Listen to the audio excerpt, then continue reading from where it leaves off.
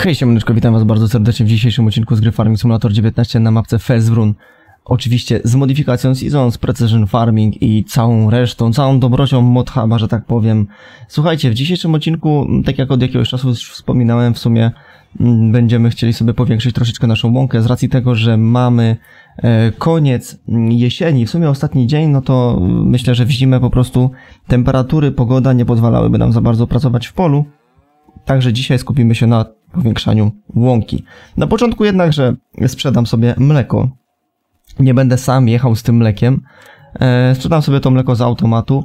No i tak jak mówiłem, będę się teraz starał dosyć często sprzedawać to mleko, no bo kurczę, no nie oszukujmy się, tak? E, mleka nie e, chomikuje się przez pół roku czy tam rok, aż będzie wysokie, wysoka cena za to mleko, tylko no po prostu sprzedaje się to praktycznie codziennie. No ja będę się starał pamiętać na każdej serii, żeby to mleko sprzedawać codziennie, nie patrzeć na cenę, bo tego się nie zbiera. Codziennie sprzedajemy mleko, pamiętajcie. Mm, to jest bardzo ważne. Na samym początku jeszcze chciałbym zrobić taki myk. E, już Wam mówię o co chodzi. Mm, mała restrukturyzacja tutaj w naszym gospodarstwie, mianowicie mm, sprzedajemy sobie tutaj ten głębosz, ponieważ zastąpimy ten głębosz pługiem, który używałem niedawno na odcinku w sumie. E, jest to ten pług talerzowy od John Deere'a, który kosztuje 95 tysięcy. Szerokość robocza to jest 15 metrów. E, no i na dodatek można nim tworzyć pola, czym dzisiaj będziemy musieli się e, zajmować. No to kupujemy. Ok, oczywiście można było tu jakąś konfigurację w nim zastosować. Nic tam nie zmieniałem na razie, przynajmniej może później coś tam do niego dorzucimy. No dobrze, kupiliśmy pług talerzowy oczywiście, jednak no jeszcze potrzebujemy mieć teren na to, żeby tą łąkę gdzieś tam tworzyć. Także no, ten teren za chwileczkę też sobie zobaczycie, e, jaką decyzję tutaj podjąłem po moich dłuższych przemyśleniach. Naprawdę walczyłem sam ze sobą, uwierzcie mi moi drodzy, e, bardzo długo. Nie no, żart, żartuję oczywiście. I teraz tak, e, jakaś ogromna łąka nie jest nam też potrzebna, z racji tego, że tutaj na tym polu mamy... Mm, dobra, czekajcie, bo nam się zablokowała... E,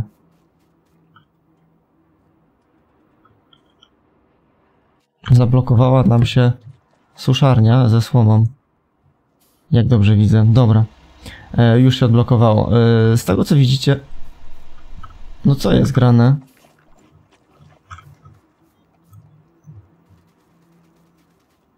No, teraz już powinno być ok chyba. Mam taką nadzieję, bo się zdenerwuję. No, dobra, teraz już nie mamy, więc spoko. E, tutaj mieliśmy ziemniaki, znaczy ktoś tam miał ziemniaki, należy do E, Sofii, Sofii ziemniaków nie wykopała. E, ziemniaki pewnie już troszeczkę przemarzły do tej pory, ewentualnie zgniły w glebie. E, a tu na tym polu co mamy? Tutaj mamy uwę, pszenicę i rośnie. No i tutaj no szkoda by było niszczyć tak duże pole pszenicy. W sumie 23 jest z tego co mi się wydaje większa od um, 21 chyba, bo dla 20... Zaraz, zaraz. Tak, 23, 30, 31, też tak trochę nie po kolei. 23 jest dużo większe od 31 z tego co widzę. To sobie sprawdzimy tutaj. 23 ma 2,25 hektara, a d... te tutaj mają po 1,5, 1,6. One są takiej samej wielkości, na to wygląda, tak? Więc no, ja sobie tutaj kupię to pole tutaj, mm, numer 31. 30 i 31 jest takie samo. Dziwne. Jeszcze raz to muszę sprawdzić. No niby tak. Ale obszarowo to chyba wygląda troszeczkę inaczej. No tak, no sklep będziemy mogli. Tutaj na przykład możemy sobie teraz postawić szlaban, czy tam zaorać dojazd do sklepu i niech tam płacą, tak? E, nie no, żartuję oczywiście. 223 tysiące, jakoś dużo to nie jest, a łąkę będziemy mogli mieć całkiem e, fajną i całkiem sporą. No tutaj tym e, pługiem, to tutaj jest, dobra. Rozkładamy oczywiście. Mm, zacznę chyba gdzieś tutaj z tego miejsca, bo zrobimy sobie taką no, dosyć sporą tą łąkę, przynajmniej będę się starał zrobić sporą, sporą łąkę. E, tak, 15 metrów. Nie chcę też za bardzo, za blisko tego ogrodzenia, bo później wiecie jak to jest z tym. E, robimy Y, robimy V. No i już możemy tworzyć pole tym naszym jakże ogromnym sprzęciorem. tutaj oczywiście gdzieś tam później na courseplayu będziemy sobie działać na tym gospodarstwie. Jak sami możecie też zauważyć, no ciągnik tutaj też będzie miał spore problemy. Na razie sobie pykniemy taką rundkę, myślę, że dookoła. Tutaj jednak też trzeba będzie pamiętać o tym, że mm, będę musiał zrobić wapnowanie i całą resztę. Dlatego też najpierw robimy pole, ponieważ jak zrobię pole, jak zrobiłbym wapnowanie, zrobiłbym wapnowanie tylko na tych obszarach, gdzie jest stworzone pole. Mm, a tak to teraz będę miał możliwość właśnie zrobienia yy, tego pola to tutaj tak normalnie. Najpierw zrobię pole, dopiero rozsieję wapno i dopiero będziemy tutaj siać. Mamy na to trochę czasu, jest godzina dopiero 10.28, więc powinienem się jak najbardziej z tym wyrobić. E, obszar nie jest też jakiś tam mega duży, bo no w sumie 3 hektary, 3,2 hektara było, bo teraz jak sobie trochę powiększymy, połączymy te dwa obszary, no to e, no będzie trochę więcej, tak, o tym też trzeba pamiętać. Mm, co do, co do lasu, który chciałem tutaj siać, sadzić w sumie, e, też będziemy się tym zajmowali. Myślę, że z tym lasem poczekamy sobie albo do przyszłej jesieni, albo E, na wiosnę się tym zajmę, chociaż no tutaj plany, tak jak mówiłem, na gospodarstwie będę miał całkiem rozległe, ponieważ, moi drodzy, w planach jest tutaj jeszcze do zrobienia mm, sprzedaż, y, sprzedaż padoku dla koni, tak jak rozmawialiśmy. Sprzedajemy padok dla koni i zamiast padoku dla koni będziemy mieli małe pastwisko dla krów i do tego pastwiska dla krów będziemy od, y, tam będziemy wywozili takie no powiedzmy roczne cielaki, tak? E, wiadomo, że cieląt e, nie powinno się zabierać, powinno sobie doić tam normalnie bezpośrednio z cyca, e, ale my będziemy te, znaczy no w sumie no małe cielaki, to, to już roczny to już nie jest cielak, już cyca nie doi, bo tam nie wiem, z 3 czy 4 miesiące pewnie z cyca doi, a później już tak w miarę normalnie to wygląda. E, także no tutaj cielaki będę sobie odstawiał, tylko takie roczne, tak jak mówię, to już bardziej nie cielaki, a jałówki bym powiedział. Tak, one są jeszcze nie są płodne, jeszcze rok czasu będą niepłodne i ja tam będę sobie odsadzał, później będziemy mieli, wiecie, e, stąd będziemy mieli mleko, stąd będziemy mieli mleko, więc całkiem spoko. Jak dobrze pamiętam, to gdzieś na, w okolicach wiosny już niestety będę musiał to zrobić, ponieważ jak tego nie zrobię na wiosnę, to mogę mieć taką sytuację, że mi się zapełni po prostu yy, całkiem ten yy, kurczę E, to pastwisko dla krów. Cał, ca, całe będę miał pełne. Na to może wyglądać, bo z tego co zauważyłem, to właśnie tamte e, krowy jak się ocielą, to tam zostało mi chyba z 20 miejsc. Krów mamy 130 takich dorosłych, znaczy nie no, dorosłych nie, bo jeszcze są cielaki z tamtego roku. E, no i te jałówki, które jeszcze gdzieś tam też później się w tamtym roku urodziły, to, to one też jeszcze nie będą się nadawały do, do rozrodu, tak? No i tutaj dojeżdżamy ładnie. Musi być jakoś super ładnie, równiutko, elegancko, e, bez przesady, tak? Opuścimy sobie tutaj. No ja chyba będę musiał zrobić na takiej zasadzie, że po prostu wszystko tutaj e, tym pługiem talerzowym sobie opierdzielę. Fajnie, że to zetnie nam te ziemniaki, które tutaj są.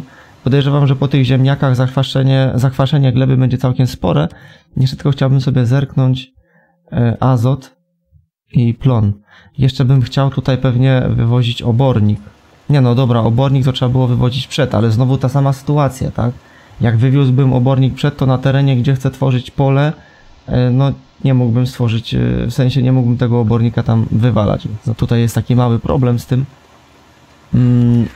Nie da się tego inaczej niestety zrobić, bo wtedy byśmy, no podejrzewam, że sporo towaru gdzieś tam tracili, wywalali za pole i tak dalej.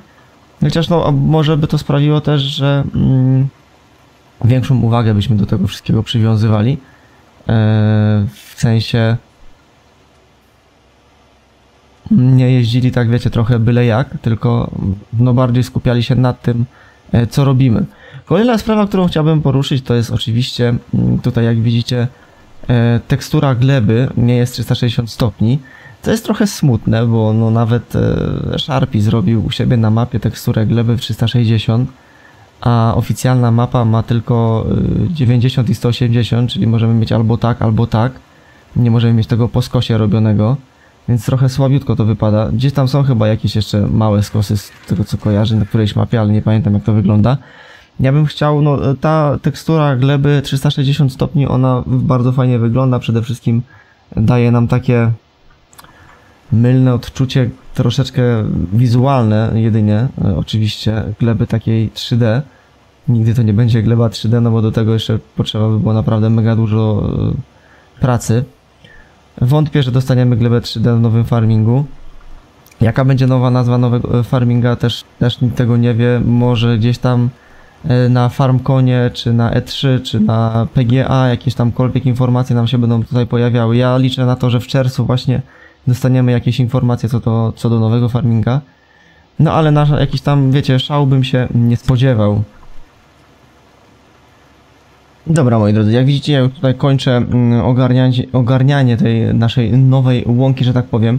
Teraz standardowo będziemy musieli zająć się mm, naturalnie wapnem, rozsiać tutaj wapno, no i będziemy sobie tutaj musieli zasiać jeszcze e, trawę. W mojej opinii ten e, pług talerzowy mega fajny, bardzo przydatny i o wiele fajnie się nim pracuje niż na przykład takim normalnym pługiem. Ogromnym plusem tego wszystkiego jest oczywiście to, że jest bardzo szeroki, 15 metrów to jest naprawdę dużo. Jak sobie zobaczymy tutaj, to chyba największy pług ma... Gdzie ty jesteś największy pługu? 10 metrów, ale no z pługami wiecie, że się troszeczkę gorzej jeździ. Oczywiście. Ten ma tutaj 2,2. 11 metrów mamy też ten pług dłutowy. Też jest fajny i nimi też możemy e, tworzyć e, właśnie pola, to też jest ok. Głęboszami natomiast pól tworzyć nie możemy, z tego co pamiętam. Chyba, że niektóre głębosze mają tam taką funkcję, ale, ale no nie ten. No i tutaj mamy głębosz na przykład 8-metrowy, tutaj mamy głębosz 6-metrowy z dodatkową funkcją, że możemy rozsiewać nawóz. Jednakże, jeżeli gracie na precyzyjnym farmingu, to rozsiewanie nawozu przed zasianiem czegokolwiek, e, że tak powiem, gówno wam da. Chyba, że jest to obornik, bo obornik rozsiewacie na jakimś tam bardzo niskim poziomie, Mm, a nawóz sztuczny i tak później po zasianiu musicie rozsiewać, żeby to było e, nawiezione w 100%. Także pamiętajcie o tym. Na modyfikacja precyzyjny farming, no oczywiście ja ją polecam. Jednak tak jak mówiłem, jest to dodatek, jest to jakaś tam urozmaicenie, jednak nie jest to totalnie żadna rewolucja, jeśli chodzi o farminga. E, nie wniesie wam to jakiegoś urozmaicenia na dodatkowe, nie wiem, kilkadziesiąt godzin E, starania się i, i spinania zada, bo no tak, tak to niestety nie zadziała. E, a szkoda, bo liczyłem na to, że będzie to jakoś inaczej troszeczkę wyglądało. Nie wiem, czy tam zmieszczę. Chyba się nie zmieszczę. Liczyłem, że będzie to troszeczkę inaczej wyglądało mm, i że da nam to troszeczkę więcej na przykład do, do, do myślenia, do tego, żebyśmy się bardziej skupiali. Ale chyba no niestety tak, tak to nie wychodzi. Kurczę, widzę, że te kółka tam trochę przenikają przez te belki w jakimś tam stopniu. Co za... Gamoń tak tutaj zaparkował nieładnie. Ale trochę, teraz trochę przesadziłem, a później będę mówił, że nie mogę odstawić, nie? Dobra. Odpinamy.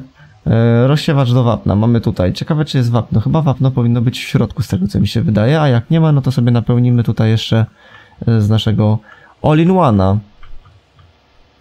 Normalnie ludzie sprzedają, wiecie, trzy w jednym, dwa w jednym, nie? A ja mam all-in-one. Wszystko podpięte. Mamy sporo wapna, na razie nie będziemy napełniać, zobaczymy czy nam w ogóle wystarczy. E, a jak nam nie będzie chciało wystarczyć, to sobie tam zatrudnimy po prostu pracownika, on sobie to będzie tam dalej cisnął. Ja jeszcze bym chciał tylko zrobić jeden myk mm, i stworzyć tak jakby nowe pole dla Courseplaya na polu numer 31, czyli tam, gdzie była wcześniej łąka, bo no przydałoby się, nie? W razie czego, gdybym tam potrzebował trochę pomocy od Courseplaya, to będę miał właśnie e, tutaj już stworzone pole. Łąka całkiem konkretna, wychodzi na to, że około 3,5 hektara z tego wyjdzie, więc myślę, że całkiem nice. E, nie, muszę być w ciągniku. I teraz tak, generacja.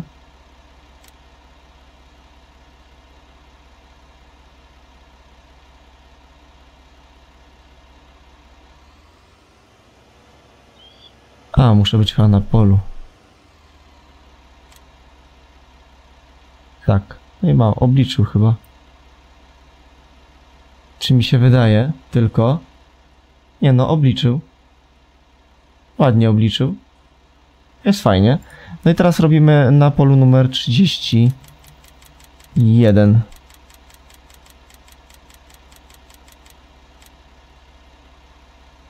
Za tą krawędź Tak jest, dobra.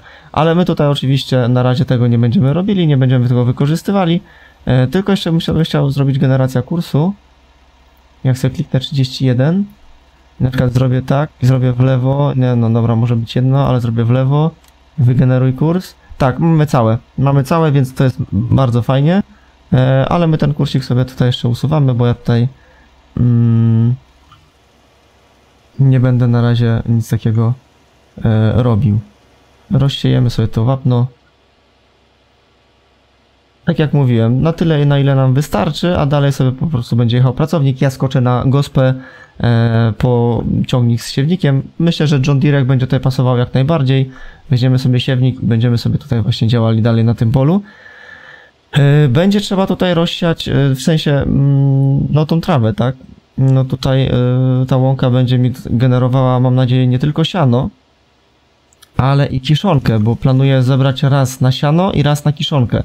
W momencie, gdy będziemy mieli dwa pastwiska dla krów, może się okazać, że będzie to troszeczkę niewystarczająco i no i będę miał problem. tak jest, zgadza się, będę miał mały problem.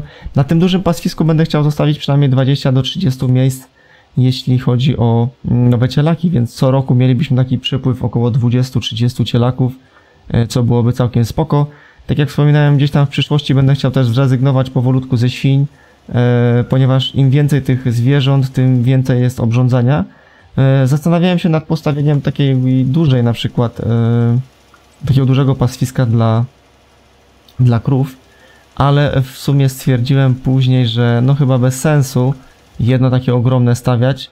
Na przykład to, które jest z modyfikacji od Global Company na 2000 sztuk bydła.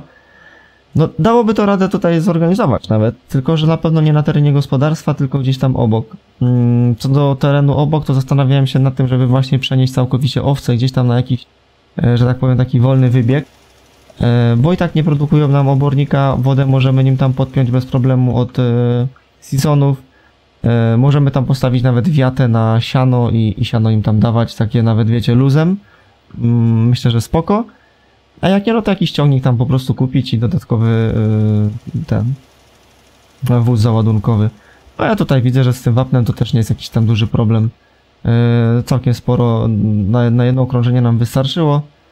Nie pamiętam ile tu metrów, 20 chyba parę metrów nam to rozsiewa. Z tego co kojarzę. Więc też nie jest jakoś tam źle. Teraz to w ogóle zrąbałem, bo jadę za bardzo przy tej krawędzi od tamtego wapna i, i marnujesz towar, Karol. Marnujesz towar, marnujesz tyle białego wapna. Tak. Tak trochę się marnuje, bo nigdy nie jesteśmy w stanie, tak wiecie, precyzyjnie E, znaczy nie tyle marnuje, no bo to się nie marnuje, bo to leci na pole, nasze, na nasze pole, tak, to, to na naszym polu zostaje. No ale tak fajnie będzie też odświeżyć trochę tą łąkę, mi się wydaje. Bo tak się zastanawiałem, czy nie zrobić tylko po prostu tak, że połączyć te obszary, a tamtego nie, nie orać. No ale z drugiej strony stwierdziłem, że nie no, gościu, jak już coś robić, no to róbmy to tak, e, żeby to miało ręce i nogi, stwórzmy całkowicie wszystko od podstaw, wszystkie bruzdy, miedze, mm, wyzerować, normalnie ciśniemy to tak jak należy. E, I tyle, no i myślę, że całkiem fajnie mi się to udało nawet. E, mam nadzieję, że wy zostawicie w komentarzach swoją opinię na temat tego, mm, czy w dobrym miejscu, czy wy byście na przykład właśnie wybrali ten obszar 23 zamiast tego 31. No z tym 23, no to byłaby ta łąka tam ponad 4 hektary. Myślę, że e, łącząc ten obszar, to no wyszłoby nawet koło 5 hektarów, bo tamten obszar 23 on zajmuje o wiele więcej miejsca. Mm, więc no tutaj stwierdziłem, że no bez sensu robić też taką mega ogromną łąkę.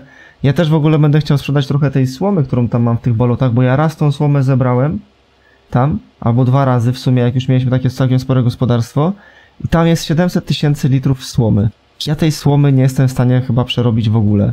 Dopiero co tam zeszło, wiecie, bo tam są dwa poziomy. Mamy to, które się przerobiło już i jest tam poukładane.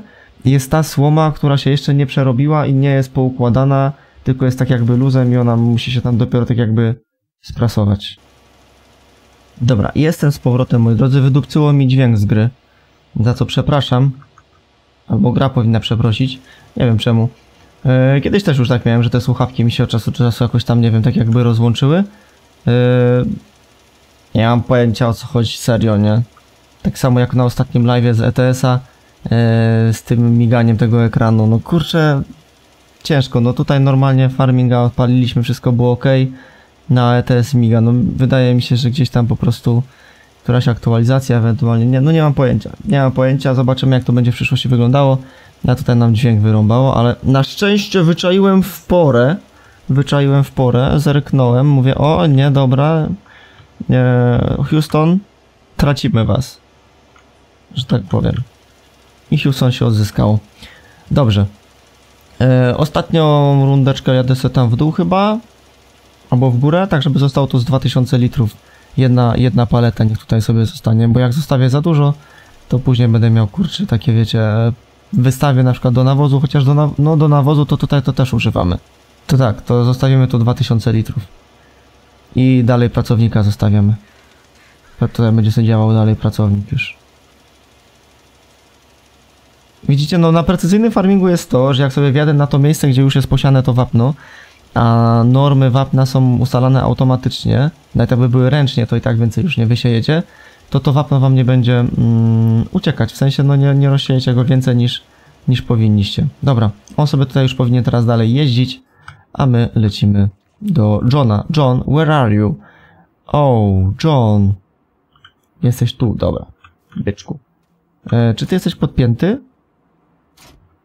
Tak, ty byłeś podpięty, John. Podpięty? Podpięty był. W sensie wiecie, że podpięty, nie pod, nie pod, nie wiem, pod rękę, tylko podpięty. Taki mały dowcik z sucharem. Nikt się nie śmieje? Okej. Dobra. Eee, siewnik. Tam o jest. Tam jest siewnik. Eee, nie będziemy robili kultywatorowania po wapnowaniu, ponieważ siewnik ma funkcję kultywatorowania. Domyślam się, że wapno powinno być gdzieś tam głębiej, ale to jest łąka, e, a z drugiej strony też ten e, pług talerzowy, właśnie od John Deere'a, on z tego co zauważyłem, e, też nie, nie działa tam jakoś dosyć głęboko. No ale skoro jest to normalnie, wiecie, dodawane, znaczy w sensie jest, jest taka maszyna w rzeczywistości, e, nie jest to jakieś tam z dupy wzięte, no to jak najbardziej możemy sobie tego czasami poużywać, tak. Tu po prawej stronie jest ta moja stara łąka, jak sobie możecie zobaczyć, po lewej stronie jest nasze gospodarstwo, tutaj jest kawałek gdzieś tam pługiem, pewnie zawadziłem, stara łąka, stare chwasty, nic się tutaj nie dzieje, plan na to miejsce też mam oczywiście. Tak samo jak będę miał y, mały pomysł na mm, miejsce y, tam, gdzie mamy tą łąkę na dziesiątce, która no myślę, że teraz tak troszeczkę odejdzie na bok, ale oczywiście wiecie, no jak tam mamy łąkę jeszcze, to też można to jak najbardziej zebrać. Tutaj na tym polu numer 30 i 31 na pewno na tą łąkę będziemy czekali trochę dłużej, bo ta trawa, jak ona jest zasiana, to na nią trzeba będzie trochę dłużej poczekać niestety, nie? No tak to wygląda. E, ja chyba najpierw dookoła raz pyknę. Co jest? A, bo kabli chyba nie podpiąłem. No, dobra.